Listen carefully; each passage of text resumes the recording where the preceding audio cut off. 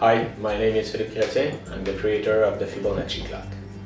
This clock uses the famous Fibonacci sequence to display time. The Fibonacci sequence of numbers starts with 1 and 1. To get the next term of the sequence, you need to add up the last two terms. 1 plus 1 equals 2, 2 plus 1 equals 3, 3 plus 2 equals 5, 5 plus 3 equals 8, and so on. For this clock, I use the first term of the sequence 1, 1, 2, 3, and 5. To read time on the Fibonacci clock, you need to do some math. To get the hour, you add up the red and the blue squares. Here we have 5 plus 3, 8 plus 1, 9. It's 9 o'clock.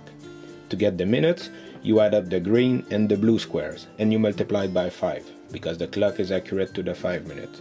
Here we have 3 plus 2, 5 multiplied by 5, 25, so it's 925. The white squares are ignored. The Fibonacci clock is an open source project. At the end of the Kickstarter funding, I will publish my source code, my schematics, and the enclosure plans all under the GPL license. At the core of the clock is an Atmega microcontroller running Arduino. I added an FTDI port when I designed my circuit board to make it even easier to upload your own code in the clock. I've been able to reduce the cost of the electronic by designing my own circuit board. This is where I need the help of the Kickstarter community. The more clocks I build, the cheaper the material and labor. Your pledge will help make this clock affordable for the nerd community all around the world.